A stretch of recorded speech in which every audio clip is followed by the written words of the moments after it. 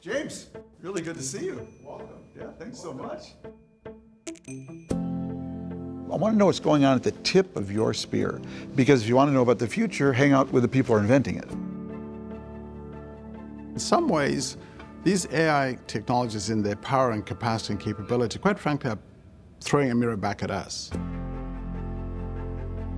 What if Google is innovating at a speed, scope, scale, and depth that I have no idea where you are?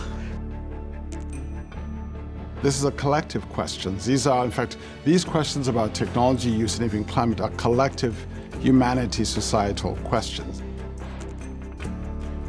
We're going to be able to hear the world speaking to us in phenomenal ways that we've never done before.